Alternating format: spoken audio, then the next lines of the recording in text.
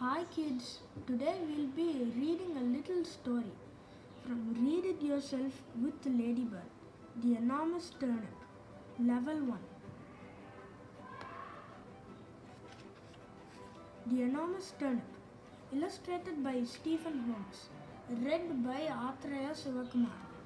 The characters in the book are the old woman, the old man, the enormous turnip, the girl, the boy, and the dog.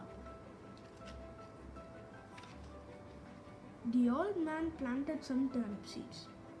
The turnip seeds grew and grew.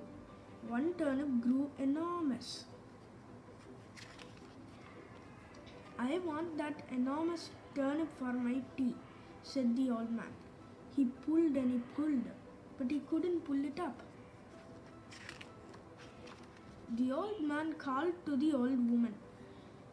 Help me pull up this enormous turnip, he said. They pulled and they pulled, but they couldn't pull it up. The old woman called to the boy. Help us pull, this, pull up this enormous turnip, she said. They pulled and they pulled, but they couldn't pull it up. The boy called to the girl. Help us pull up this enormous turnip, he said. They pulled and they pulled, but they couldn't pull it up. The girl finally called to the dog.